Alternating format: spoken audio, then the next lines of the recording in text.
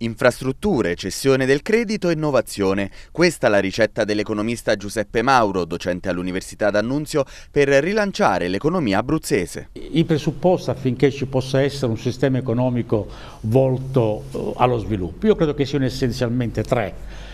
Primo, le infrastrutture, soprattutto in una fase come questa eh, che è un po' stagnante, quindi le strutture possono rompere il ciclo vizioso della stagnazione in questa fase. Secondo, un sistema bancario efficiente, che significa cioè la possibilità di incontrare la domanda di credito con l'offerta di credito, oggi difficile perché la domanda di credito è bassa e dal lato dell'offerta, dal lato delle banche c'è molta tensione sia per quanto riguarda i vincoli della Banca Centrale Europea e altro ancora.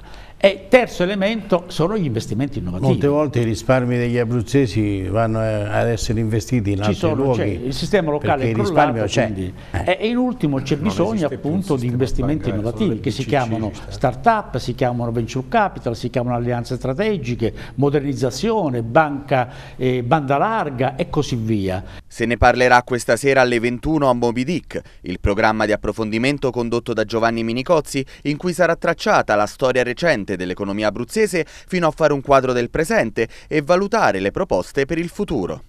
Una delle prime mosse eh, in, questa, in questo ambito che verrà portata avanti da questa giunta regionale sarà quella della, della unificazione di due enti, Abruzzo Sviluppo SPA e FIRA SPA, per creare un'unica finanziaria regionale in grado eh, di, di fare veramente quello che dovrebbe fare una finanziaria regionale. Ospiti della puntata di questa sera, oltre al professor Giuseppe Mauro, il segretario regionale di Cisla Abruzzo Molise, Leo Malandra e i consiglieri regionali Guerino Testa e Giovanni Lennini.